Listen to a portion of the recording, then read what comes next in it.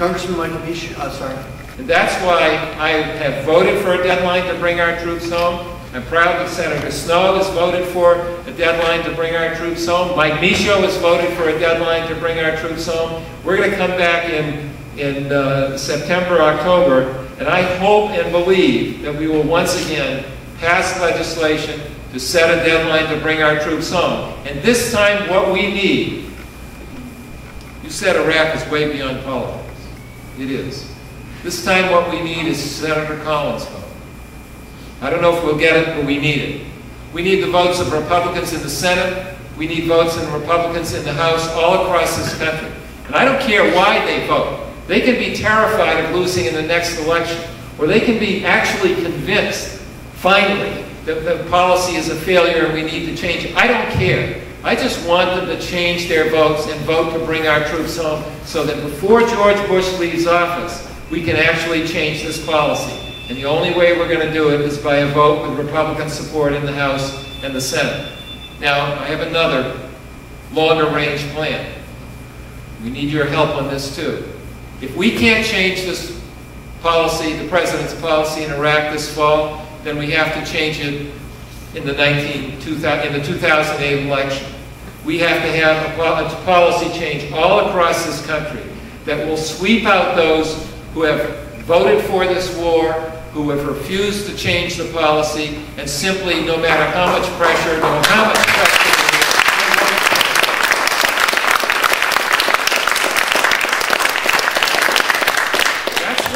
that's what this democracy is all about.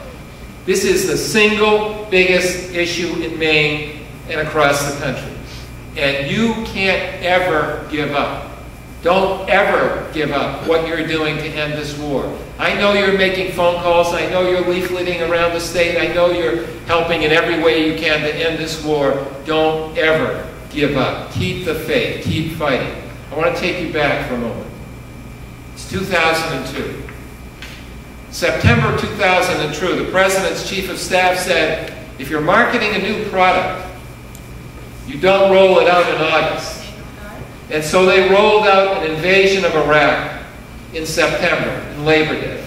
And they made the last two months before the 02 election all about whether or not you were patriotic and would support the president's plan to invade Iraq, or whether you were undermining support for our troops and unwilling to defend the country against terrorists. That's how they framed it.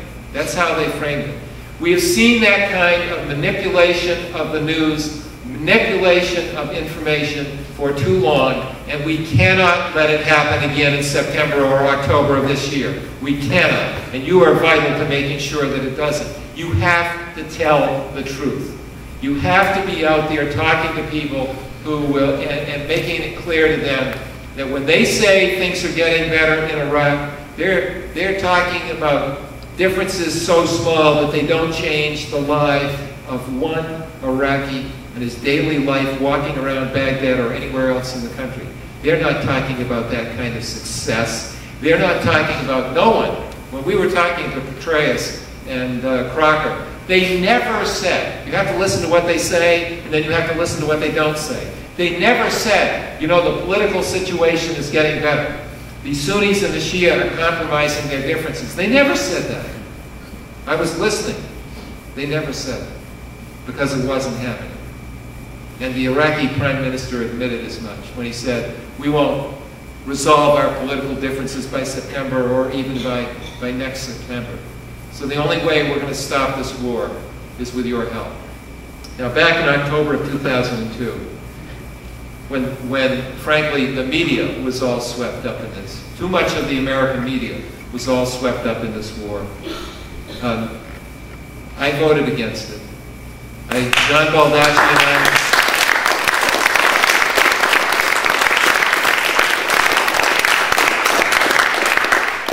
say John Spratt and I, John Spratt of South Carolina, and I put together an alternative resolution.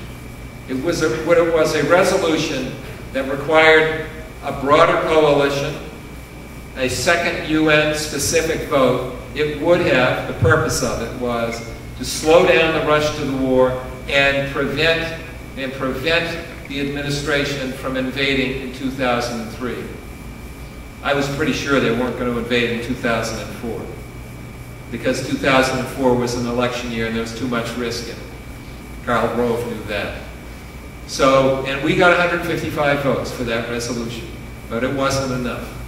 And in face of all of that manipulation, all of that uh, misleading information about the intelligence, all of that, uh, uh, all of the scare tactics. I know that there were people who went over to the White House. They came back and said to me, well, you know, the president says they've got a nuclear program. And I would say to them, well, Mohammed El-Baradei, the nuclear weapons inspector, is over there in Iraq. They've got an inspection program, and they are saying they can find no evidence of a nuclear weapons program. Don't you think that Dick Cheney and George Bush would tell them where the nuclear program was being carried out? If, they, if Cheney and Bush knew where it was? And the same was true for chemical and biological weapons. We had this whole effort out there uh, by, by uh, what's his name? Hans Blix. Hans Blix, thank you, Hans Blix. He was over there looking for chemical and biological weapons. He couldn't find any. Don't you think Dick Cheney and George Bush would have told Hans Blix, go over here, here's where the weapons of mass destruction are? So we know now, I figured then, that they didn't know where there were weapons of mass destruction, but that didn't help them, that didn't stop them from basically coming out to the American people and selling us a bill of goods. The most costly bill of goods this country has ever been sold. We were sent, we, they sent this country into war on the basis of false information. And it's the result has been $500 billion. We're mortgaging our future and uh, forcing our kids to pay the bill. So far, 3,700 plus American lives lost. Actually, those are just the soldiers, another thousand plus of American contractors, and tens of thousands, if not hundreds of thousands of Iraqis. You can't ever give up.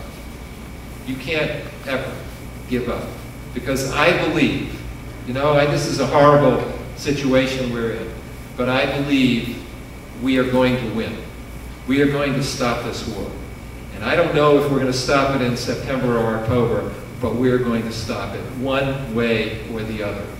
And all I ask from you is to don't get discouraged. Don't ever get discouraged. Keep your spirits up. Keep talking to people, and we will win. We will win. We will stop this war.